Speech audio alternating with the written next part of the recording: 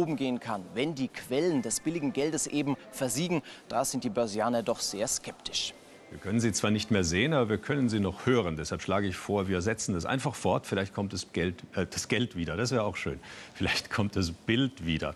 Aber auf jeden Fall hören wir ja, was Sie uns sagen wollen. Was macht denn der DAX an diesem Montagmorgen?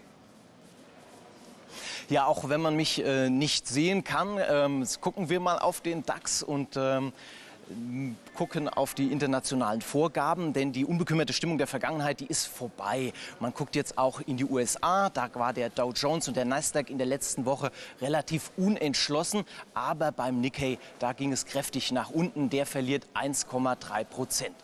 Allerdings hier in Frankfurt ist die Stimmung heute doch recht positiv. Der deutsche Aktienindex zum Auftakt dieser Woche leicht im Plus mit 15 Punkten auf 7800 Zähler.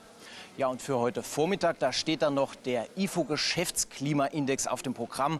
Der gibt Auskunft über die Stimmung in der deutschen Wirtschaft. Und das könnte dann doch noch mal für Bewegung sorgen hier in Frankfurt.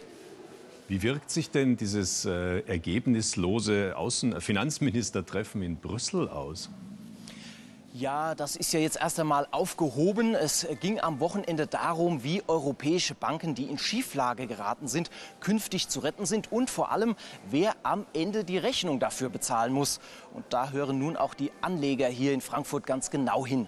Denn so will es vor allem der deutsche Finanzminister Wolfgang Schäuble, sollen künftig nicht mehr allein die Steuerzahler für das Missmanagement der Banken gerade stehen, sondern auch Aktionäre und Gläubiger, also Investoren, die Bankanleihen gekauft haben, sollen da künftig bezahlen. Die Franzosen, und da ist der Streit, sehen das ganz anders und möchten ihre Banken auch künftig mit Staatsgeld wieder gesund spritzen dürfen. Allerdings äh, haben ja die Beispiele in Griechenland und Zypern gezeigt, dass wenn das Geld der betroffenen Staaten nicht mehr reicht, die europäischen Partner einspringen müssen. Tja, und da entsteht der Streit, in dem die europäischen Finanzminister nun wie so oft gemeinsam nach einem Kompromiss ringen.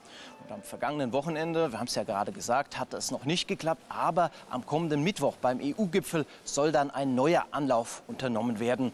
Denn eines ist klar, das Bankensystem, das muss fit gemacht werden denn ähm, es soll verhindert werden, dass nicht wieder wie bei der Lehman Brothers Pleite ein Dominoeffekt äh, entsteht, der auch auf andere Banken übergreift.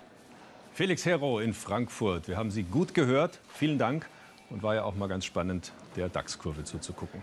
Gerne. Tschüss.